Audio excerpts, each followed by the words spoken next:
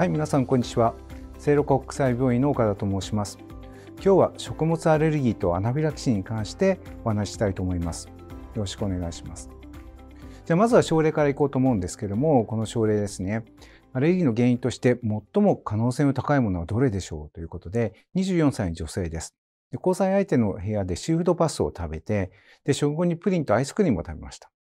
で、ソファーでテレビを見ているとき、お気に入りのぬいぐるみの山の中に知らないタヌキのぬいぐるみを見つけ、これは誰か違う人が持ってきたってことで逆上した彼女はぬいぐるみを一つ一つ彼氏に投げて部屋を出ていった。で、追いかけるとエレベーターの前で、こう息切れで座り込んでいる彼女がいました。で、救急搬送されて、ジンマシンも出てるし、で、血圧も低下しているし、ということでアドレナリンの筋肉注射を受けて、それで良くなった。じゃあ今回この彼女がアレルギーを起こした、アナフィラキシーを起こした原因としてどれでしょうということになるんですけれども、まあ一般的には普通は、えっと、その、あの、アレルゲン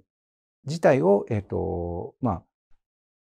問題に出てることは多いんですけども、まあ実臨床で言うと結局何を食べてどれだってことになるので、今回はホコリ、プリン、エビ、パスタ、ガーリックというふうにしてみました。ですね。じゃあ皆さんどうですか？で、これは、えっと、まずはこれはどういうアレルギーなのか単なる食物アレルギーなのか、そういうことも考えて、えっと、解いていく問題ということになります。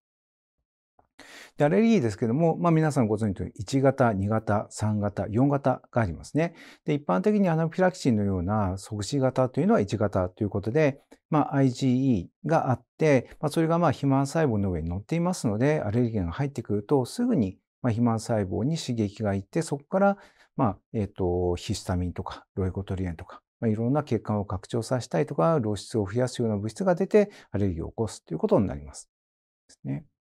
で1型アレルギーの特徴ですけども、皆さんご存知の通り、まあ、あの、これを100%全てが整ってないといけないことではないんですけども、この一つ一つで可能性が上がってくるということになります。なので、発症までの時間ですけども、皆さんご存知の通り、やっぱりこれは数分ということが普通は多いです。ね。で、まあ、数分から、まあ、長くて1時間ぐらいなんですけども、えっ、と、で、持続時間ですね。で、これは数時間。で、これはもう3日も4日も5日もっていうのはちょっと普通ではないということになります。で、これが接触性アレルギーなんかだと手荒れとかそういう感じで、まあ何日も続くわけない、そういうものはちょっと違うということになります。で、発症部位ですけども、まあ全身性のことが多くて、もうこのアレルゲンが全身に吸収されて血液に乗ってということですから、全身性の症状が出ることも多いですし、まあ局所だけ触れるようなものだと、まあ局所の場合もあります。1型アレルギーの気泡っていうのはやっぱりあることが多いですし、アレルギー疾患の家族家族歴もやはりこれはあることが多い。でこうした民剤は、まあ、もちろんすごく激烈なあのアナフィラキシーだと、まあ、効果はっきりしませんけれども、まあ、普通の軽いうちはまあよく聞くことがあって、こういうこともまあ特徴として、まあ、あの僕たちがまず聞くことということになります。ですね。で1型とすると、じゃあ原因は何でしょうということになると、やっぱり多いのは食べ物です。で、虫刺され。これはもうもちろん最初にエピペンというのが保険適用が通ったのも、これ林業の方などが虫に刺されてしまうと、まあ、大変重症の、えーと、アレルギーが起こって病院に着くまで、あの、それだけではもう、あの、持たないのでということで自分でエピペンを持って打って、それで病院に行きましょうということで保険が通ったわけですね。で今はいろんなアナフィラキシーに使えることになっています。